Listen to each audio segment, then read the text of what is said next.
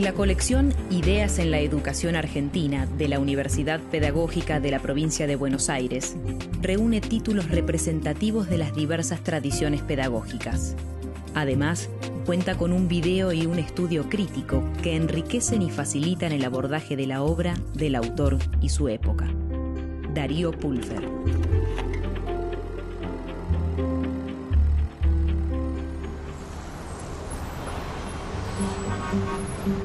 Manuel Belgrano nace en 1770 en la actual ciudad de Buenos Aires. La avenida que alberga su casa natal hace honor a su nombre.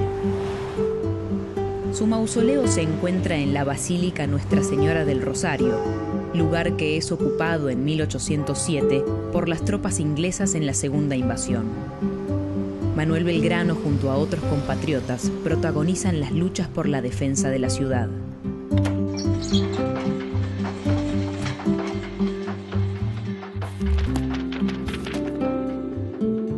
Cuando hemos hablado de la necesidad que tenemos de adquirir conocimientos, que nos pongan en aptitud para emprender negocios útiles a la sociedad. No hemos querido ni pretendido halagar el interés propio de algunos particulares individuos de entre nosotros. Nuestro intento ha sido respectivo al bien general, y por eso hemos aconsejado la educación pública y escuelas de las ciencias exactas, que facilitan el paso a cualquiera de las profesiones útiles a la sociedad.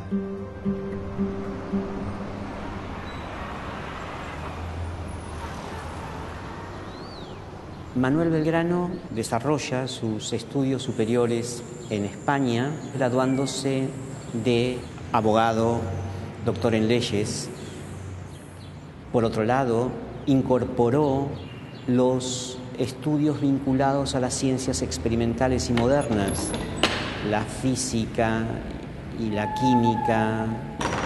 Por otro lado, los eh, estudios vinculados a las lenguas modernas, y por último la formación de la economía política asociada a la educación popular. Es esa triple formación tradicional, moderna y de procedencia heterodoxa o prohibida la que permite a Belgrano pensar el mundo y sus determinismos en la colonia o dominio español en el Río de la Plata. Manuel Belgrano estudia en Buenos Aires, en el Colegio San Carlos. Continúa su formación en Europa, cursa en universidades de España y también asiste a tertulias, donde se debaten las ideas de los intelectuales europeos más importantes del siglo XVIII. Regresa en 1794, cuando es nombrado secretario del Consulado de Comercio de Buenos Aires. Manuel Belgrano regresa a Buenos Aires con el cargo de secretario perpetuo del Consulado de la Ciudad de Buenos Aires, capital del Virreinato del Río de la Plata. Por lo tanto, tiene por obligación generar una memoria anual que promueva el comercio, la agricultura y la industria en la extensión del virreinato. Las principales ideas económicas que Belgrano inspira desde el consulado tienen que ver con la articulación entre educación, propiedad y trabajo, de forma tal que lo inédito, lo, nuevo en Belgrano consiste en saber articular la producción de riqueza con una nueva redistribución de la propiedad junto con el lugar estratégico que la educación y la ilustración tienen para que esa producción, para que ese trabajo sea productivo y genere riqueza para el conjunto. El Virreinato del Río de la Plata es creado en 1776, alojando regiones con características culturales, sociales y económicas muy distintas. En Buenos Aires, las principales actividades son la ganadería y el comercio. La capital disfruta del privilegio de tener el puerto y la aduana, su principal fuente de recursos. La educación en tiempos del dominio español en América estuvo marcada por una clara diferenciación social y económica. Básicamente, una sociedad fundada en las castas tenía respecto a los procesos formativos una clara selectividad racial. Solamente eran sujetos escolares los hombres blancos eh, sin eh, ninguna otra consideración excepcional. Las mujeres, los hombres de color, estaban exentos de los procesos de incorporación simbólica y cultural de la sociedad. Generalmente la historiografía argentina presenta a Manuel Belgrano como héroe militar y creador de la bandera. Sin embargo, este prócer ha hecho valiosos aportes a la educación y al sentido de lo público.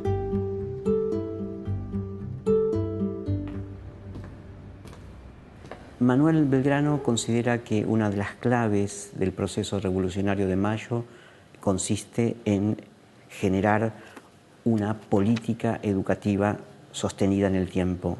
Crea un sistema educativo, un protosistema educativo fundado en escuelas primarias para varones y mujeres en la ciudad y en la campaña.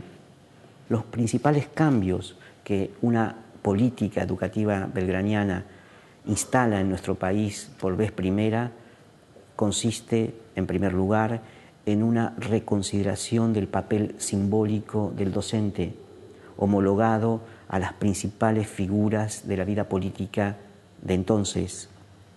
La propuesta educativa de Belgrano contiene en germen uno de los principios democratizadores que la educación pública argentina sostuvo a lo largo del siglo XIX y del XX, esto es la gratuidad de los estudios, por otro lado, eh, Belgrano atribuye importancia crucial en los procesos de enseñanza la mm, eh, virtualidad, la centralidad del estímulo económico y simbólico a los logros académicos y educativos de los estudiantes. No solamente había que examinarlos públicamente, sino premiarlos material y simbólicamente para que ese vínculo entre la educación y el estímulo fuese algo que la sociedad reconocía en su totalidad frente a las nuevas generaciones.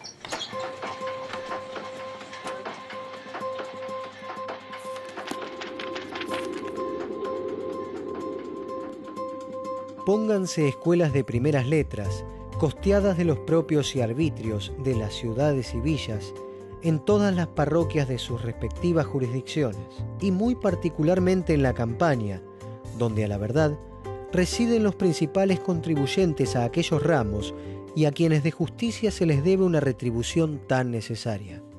Manuel Belgrano es el fundador de la Escuela Pública Argentina. Cuando pensó la escuela pública, la pensó para niños y para adultos por igual. La obra de Belgrano inspira y permite que 70 años más tarde Sarmiento y la generación del 80 instalen un sistema educativo moderno basado en las intuiciones, en los desarrollos que Belgrano había inspirado en la primera y segunda década del siglo XIX.